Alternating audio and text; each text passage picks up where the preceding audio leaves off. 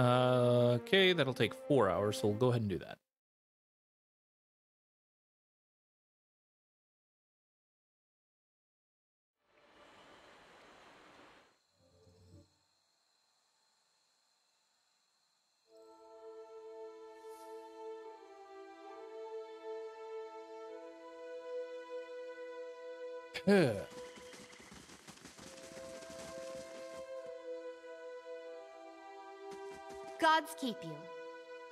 Found the egg.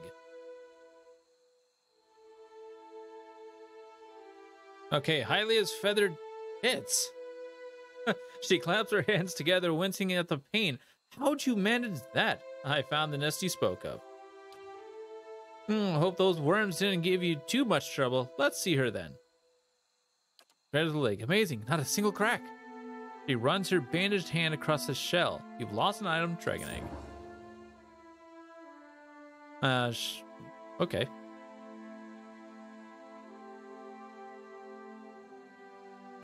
Uh, she hefts the egg into the back of her wagon and, rum- and rummages among the shelves. Uh, here, take this. She drops a, a stack of coins and parcel of ingredients into your hands. Everything you need to brew a good uh, um, uh, to a brew a good strong pick me up. Should come in handy with the kind of scrapes you seem to get into. And come see me anytime you need potions or ingredients, all right? I got a special prize for friends. She winks. Oh, really? Nice. All right. Farewell on that part, I suppose. Ask complete. Sweet. Let's, uh...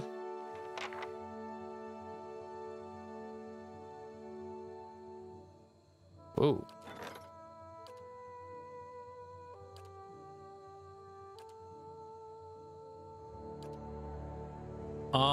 Um, do, do, do, do, do, do, do, Expires in one day, 24 hours, um, miles north Kendall Keep. Mm, mm. Uh, so small that it's often missed on the maps and the tax records. The village has little contact with the rest of the uh, deer, Dyrwood. Despite its tiny size, the village has a long history dating back to its use as a Glanfathan tribal camp over three. Uh, that's, that's done in three days. Over three centuries ago, one of the most prominent features of the community is a deep well at uh, the top of which is made with Engwithan adra, though not any other religious significance to the Glanfathans. All, all who see it agree that the well is truly ancient. In recent years, locals have reported strange sounds.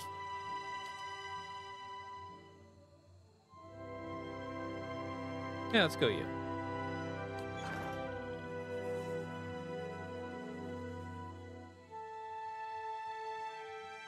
And also, go ahead and make ourselves a rest here.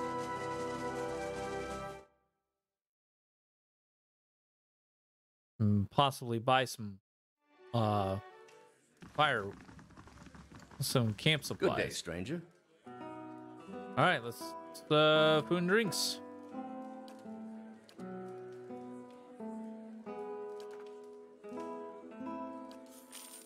That's for certain.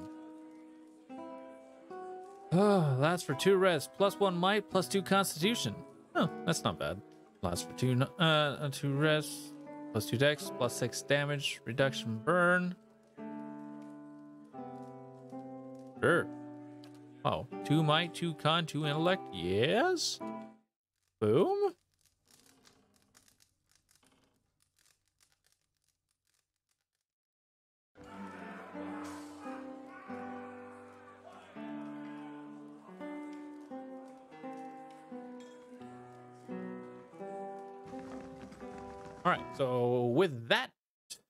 Uh done with, let's head up head over to the keep so we can so we're essentially managing time properly.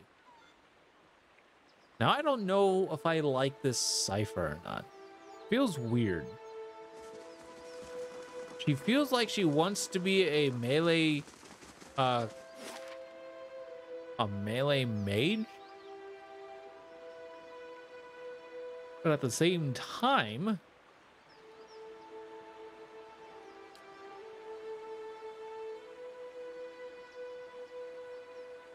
but at the same time, it feels like it's trying to be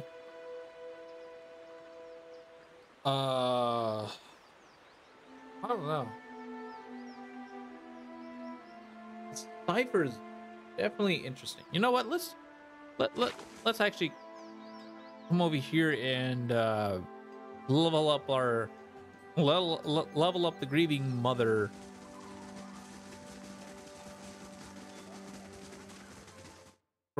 Re, uh, retrain the grieving mother and, and take a look at her skills.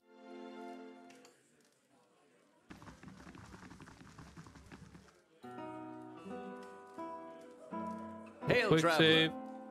Uh, food and drinks. Recruit. Retrain character. Grieving mother.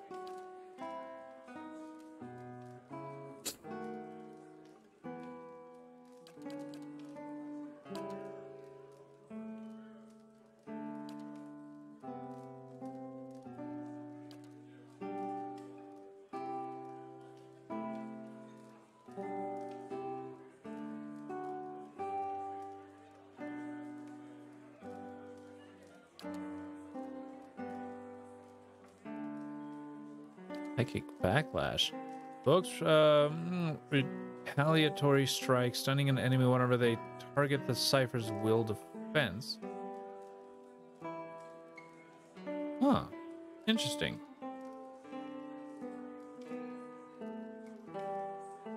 I know she had ended up getting greater focus, so we'll just go with that.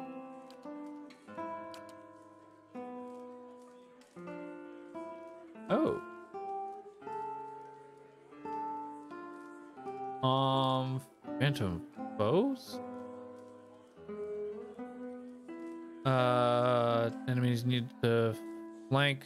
Ooh, I do like that. Make it a little hard for enemies to fight, so. Okay, foe targets.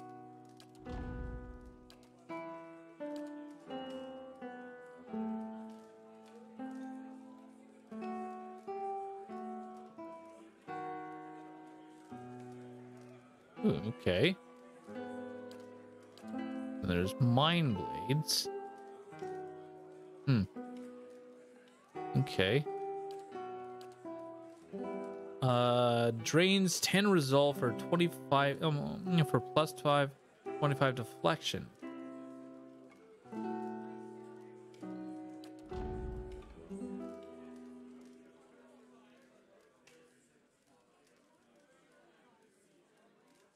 Uh huh. I think I'll take that instead.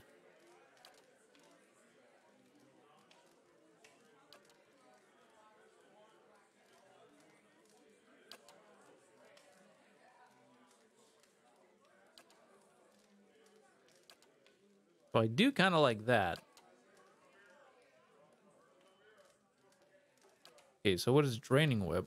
Uh, modifies soul whip. Uh, plus 33% focus gained.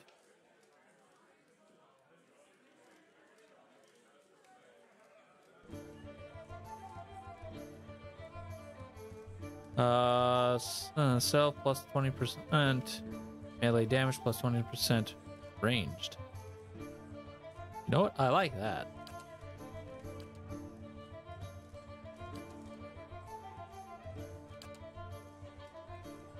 We get two new spells.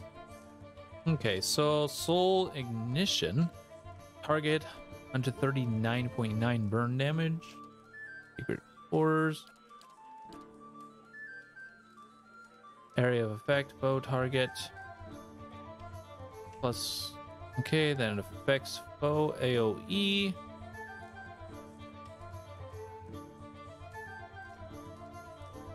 Kind of like that.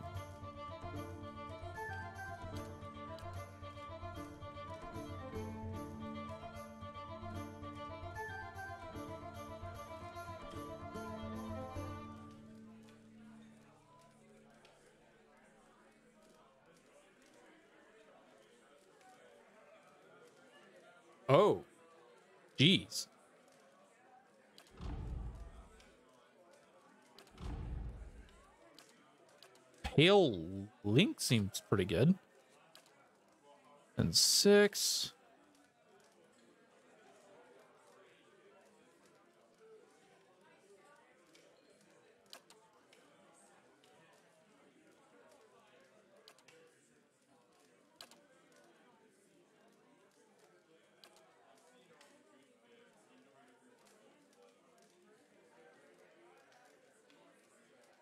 Okay, Soul Whip bites deeper, granting a bonus to damage. Um, I gotta figure out what the hell Soul Whip is. Should have been actually been looking at that before I did all this stuff. Whoops.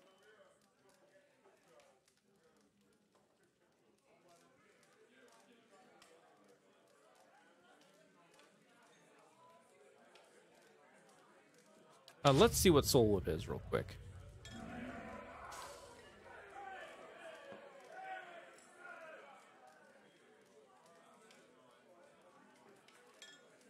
Soul Shock, Soul Wave, Eyestrike, Combined Phantom Foes.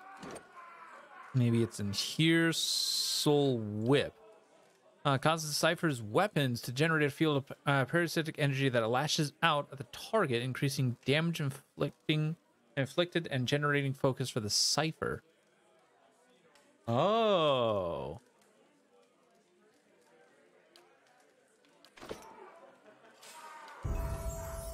Interesting.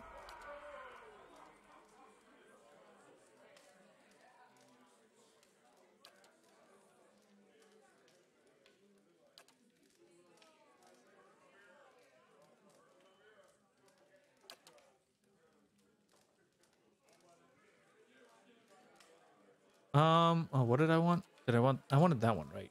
Okay, so I suppose we'll go ahead and grab you. And here.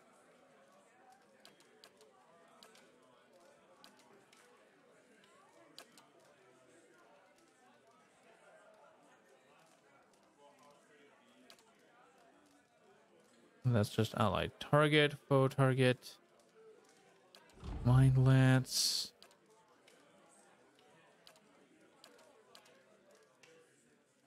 Okay, foe target. Uh, 38 to 55 raw damage, stun for 11 seconds. Foe AoE, 31 to 44 raw damage. Oh, okay. Then there's Wild Leech. Target uh, 10 points stolen from a random attribute for 21 seconds. Going in between.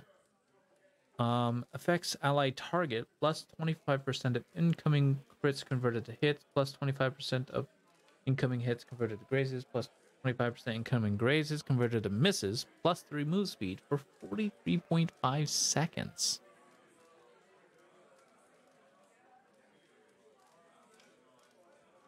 Yeah, that's interesting.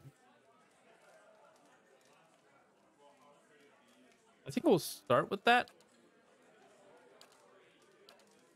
And I think I'll go with this.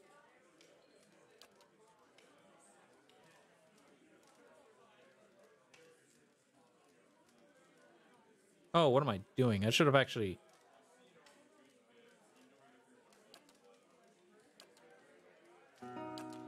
Oh well.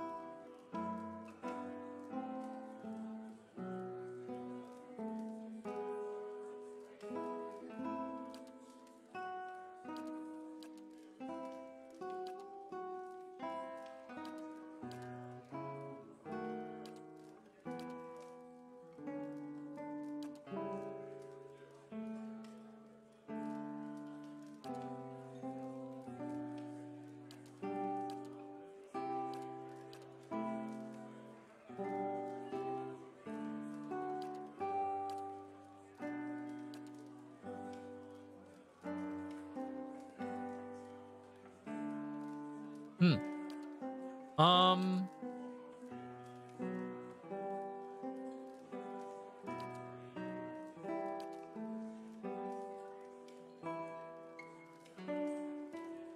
Yeah, we'll go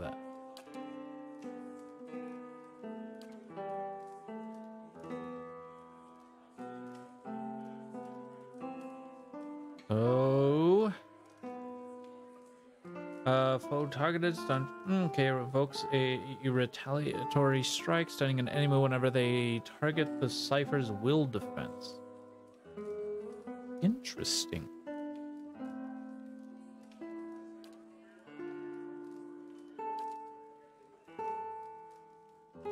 Yeah, I suppose we can just. I suppose we can do summers on her. Suppose that doesn't. Suppose that wouldn't hurt. Uh, done. And I think I'm okay with that. Really. And let's see how well she does now. Your will, Watcher.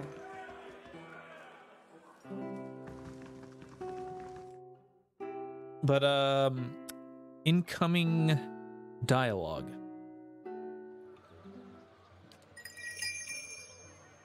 Your mind comes bearing questions, Watcher. I had yeah, I had a question for you. Let your mind speak for you. I shall listen to uh, listen past the words. You addressed me as a watcher when we mm, you addressed me as a watcher when we met. Do you know what a watcher is? Mm, there's a slow chill, and for a moment it seems as if she's going to fade from your vision, as if she can't bear to be seen. The title came unbidden. I do not know why I spoke of it. Yet it seemed the right mantle, a familiar one. Yet I do not know from where it came if I have given offense. Oddly enough, it seems oddly enough, it seems like she's not speaking to you. It feels like she's speaking to an audience. The air takes on a curious edge, a chill which persists for a sharp moment, then fades into a dull fear. If I have given offense, forgive me, forgive me. You you would know more than I.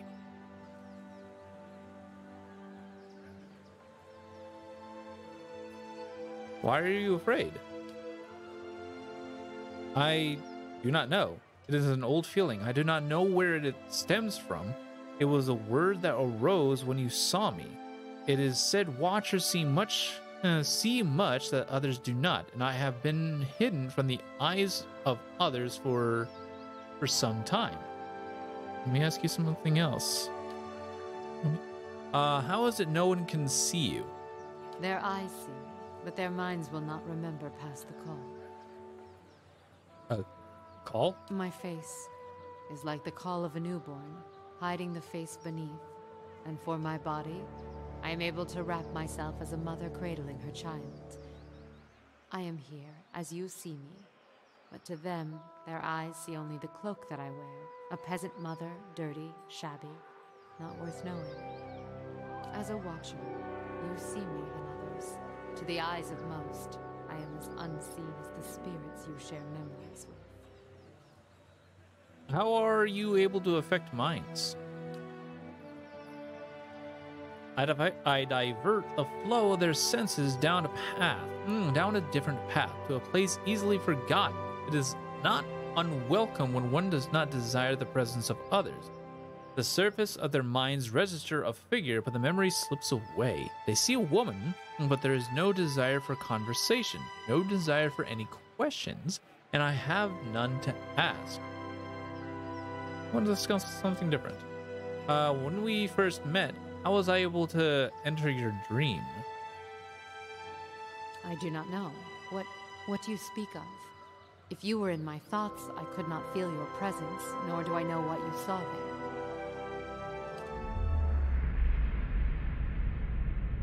As she speaks, you suddenly feel an odd sensation in your mind, as if uh, walking in her thoughts would be as if waking da- walking down a back street of merchant stalls. The claustrophobia of wooden shelves and canvas tar- uh, tarps had made less oppressive by the sheer number of enticing vials and bottles that stretch out to the sides of you. Okay, I'm getting a beer this.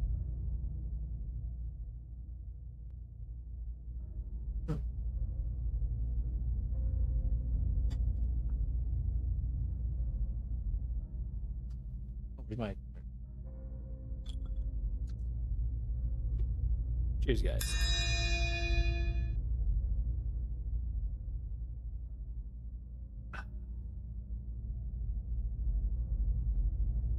For you guys' information, what I mm, what I ended up doing was try to make things a little bit more uh, maneuverable for me, so I'm not just trying to reach all the way over there. I just have, and I, I especially one of the things I did, I ended up moving my mini fridge a little bit closer to me because it was against the wall over there, and I'm kind of like it in the center of the room, sort of, sort of, just like Boom.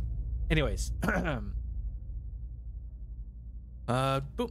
You suddenly realize the whether she permits it or uh, whether she permits it or not, you could enter her dream and observe it without her ever knowing. And response, your hand twitches. There's the feeling that you could simply pick up a mm, pick up a vial, taste it, sample it, and keep the memory as your own. And suddenly, you find yourself back in her. Your present thoughts. That sounded weird. Uh, though you were away for about a moment, she seems unaware of your diversion of thought. And maybe one of your gifts, an ability to walk in memories as easily as someone walks upon the ground. May I try it again? You feel her slowly nod, though she makes no motion. My mind is open to you as it was before when we met. I could not stop you if I wished. I do not seek to impose, I seek your permission.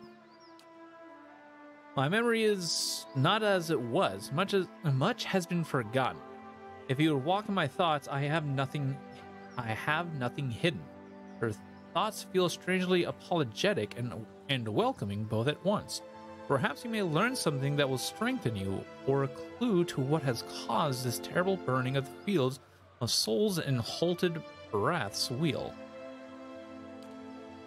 her mind gives away your passage uh, your passage almost unnoticed as you enter as her uh enter her giggity phrasing uh enter her before for it definitely phrasing circling the memory you shared when you first met phrasing chat and suddenly you are calm. You are on a plateau, almost the height of a tower several stories high. The plateau is like a table lying beneath a clear sky, and beneath the plateau, surrounding it all directions, a forest hazy with mist.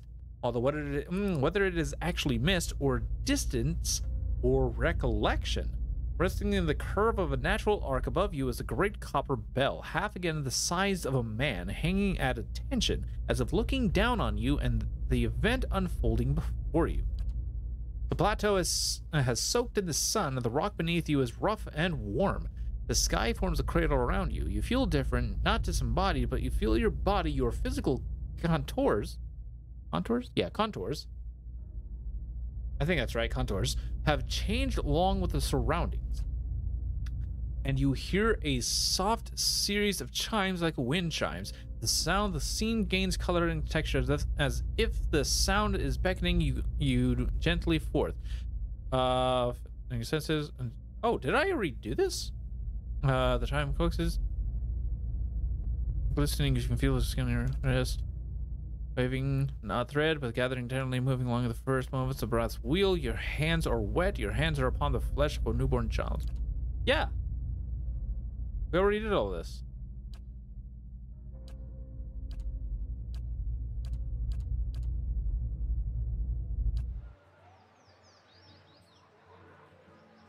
Uh, with the efforts, the scene bleeds of color. Okay, as she seems. I walked again in your dreams, thoughts, and I believe your memories. A mixture of curiosity and fear wells up between you. She raises her left hand, the chiming of her wrists uh, quelling the rise within her. She is frightened, but curiosity anchors her. And what did you see in my memories? I would hear you speak of them. The dream, the memory I saw upon meeting you, it was you helping give birth to a child. And there is silence, and as your breath falls still, you hear the faint cry of a child in the distance, a newborn child, almost exactly like what you heard in the dream. As you listen, the grieving mother raises both her hands as if uh, weaving, her wrists chiming as she does so, in a semblance of the gentle turning she provided while the newborn was crowning. Uh, to your uh, to your surprise, you recognize the motions and the words from the memory, even as they are new to you. As she weaves her hands to the air in front of her, the child's cries grow still, yet the sound of the chimes weaves almost hypnotically into your thoughts. The sky seems sharp and clear, and you feel as if you are towering over your surroundings. as if kneeling atop a great pillar, just as she did in the memory. To his surprise, the grieving mother falls as if her strings were cut and her knees crack hard against the ground. Her hands never cease moving in the air, the chimes echoing her movement. In a raged voice, you hear her speak. The voice is that of uh, that of a much older woman than the one before you, harsh, almost desperate. Tell me what you saw. Show me what you saw. Where were you?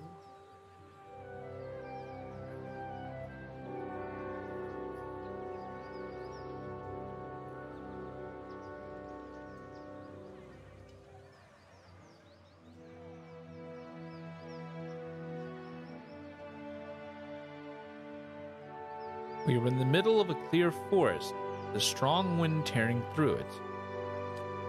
She leans back as if looking back at the sky, but her eyes are closed, the film building on them. The slow intake of breath, you feel time become quiet around you. Hmm, I do not feel the memory. I do not know if it was mine, but her hair falls across her features again like a veil, and she nods. Not with her chin, but with a push in her mind. But thank you for trying. I want to talk about the birth memory again. Uh, I hope you recall it. The, there's a silence, and as your breath falls still, you hear the faint cry. Okay. Right, just go still. You get uh, memory. Cut. Right roads.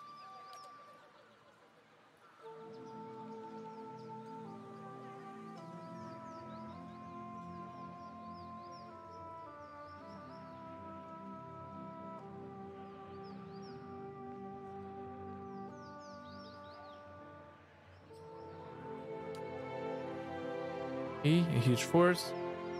Uh, hoarsely and ever fainter with the distance between you. Stone of the plateau. Its color. Tell me its color. Oh god.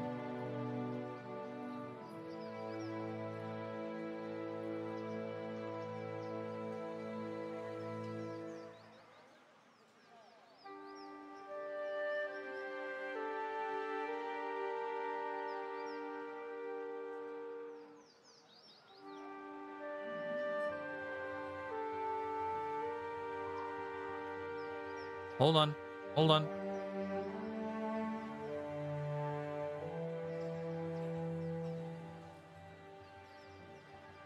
Oh no!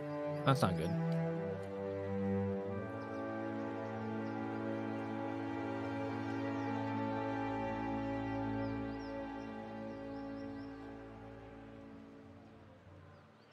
Um. Oh God, what was it? Was a silver adra at surface worn by the sun. As above the cl uh, she clasps them, then cuts them as if feeling them for the first time, and she stares down in the middle. And the chimes sound once, twice as they swing. And what did these hands hold?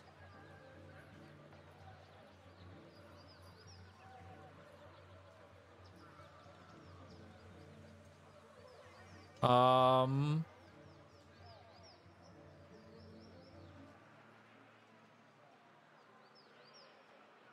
I'm not sure. That, uh, was a child you were bringing forth in your hands? I don't recall. There's a sudden intake of breath and then a release. Her eyes blur closed, forming into slits, but in the brief glimpses you have hmm, ever-changing expression, the rippling pain in her features seems to have smoothed. She swallows once, twice, and then you feel her once again in your thoughts, the rasping husk of her voice swallowed and drawn within. It was the birthing bell you saw. Has it been so long? Forgotten so much.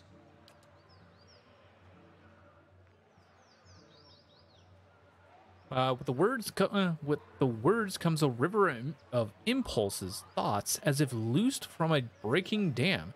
And as your mind wraps the impulses into words, you realize it is her muscles and her hardened thoughts relaxing and breathing again.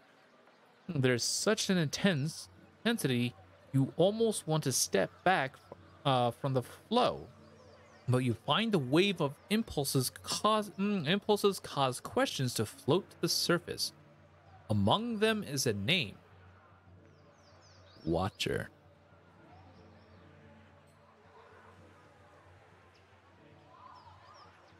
This is so weird. Are we like having like an entire telepath? I think we're actually like having almost an entire telepathic communication here. When did this, when did this become the sixth sense? Thanks. Anyways, uh, what is the birth bell? It is a plateau formed of the spirit stone adra. At its top is set a great bell, cradled in the reaching arm of the plateau. It stirs in the wind, and it sounds for leagues when struck by kith hands. In distant times, the great bell served as a Glanfathan watchtower, perhaps. Why they abandoned it, I do not know. Other men came in time, settlers, and claimed the tower as their own. I, in turn, claimed it from them. The pillar became a cradle where I could draw new souls into the world. Pillars? Pillar. One of pillars. Uh, where is the birthing bell located? The birthing bell lies deep in the great forest of the Dyrwood at the borders of Glanfathan lands surrounding it. Barely a town, not one, mm, barely a town, not one you would find on any map, but it held an important place for those there, even if we were far from the beaten track. Small families tied like a knot, joined at the wrists in mind, and thought all were welcomed. All had purpose. In your memory, were you helping a woman given birth? Yes. Yet, I believe you only saw a small part of the birthing ritual. It is not all in a moment, nor in a day. It is a journey of many years between the child, the mother, and I.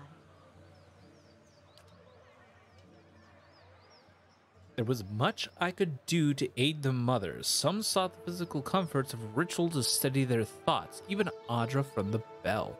Others would seek advice, mm, words of counsel for the days ahead. I was able to provide draughts, tinctures, and a reading of the child's spirit, all to strengthen the mother. telling of the child's spirit? Many would come seeking their child's future, or a reading into the child's past, the lives its soul is said to have lived. There's a slow chill, and for a moment it seems as if she's going to fade away from your vision. Such things are not mine to see. I meant no offense. Oddly enough, it feels like she's not speaking to you. It feels like she's speaking to an audience. Okay. You're frightened. Something about the Watchers. As the thought of Watchers crosses your mind, you feel a sharp pain, stabbing, and then and the sudden burn of lashes across your back and shoulder, and then it is gone. And you feel the grieving mother before you, silent, almost fearful, wary. I was something else, but because the title Watcher was cast on me, the word carried a weight I had neither earned nor deserved. The world seems filled with such titles. They distract, I think, from the actions of the person, from their strengths. Why did you believe you were a watcher? The world has many corners, and in some corners the name Watcher is more known. It is an easier title than others, and at times it is easier to wear. Placing a title upon what is unknown can dispel the fear of it, and I did not find it. I even believed it true, though I knew little of the ways of Watchers. It even granted me strength. I was able to see the thoughts of others, shape them, and help guide souls. Watcher seemed enough, and the name seemed to matter little in the light of one's acts. But they came to you to read their child's souls. What did you tell them? I drew upon the present. I felt the soul of the mother before me, and used that to tell the child's path, to give it a voice. If only the thoughts of the mother and the emotions that lie beneath were mine to impart, I did, and so I used that as the telling of their child's future. And what if it turned out to be untrue? Futures fulfilled by one's own spirit are as strong as anything seen by another's eyes. And if one draws from the emotion of the mother, it matters only when harm is done. And their lives I knew well. I could weave their lives, their thoughts over time, to the mother, to the child, and once the child had been born, was sheltered, I could relax the threads of thought until the child could stand on its own. So you, so you shaped their thoughts and made the readings true. This is my calling to show them the life I see before them, and even greater, make them believe it.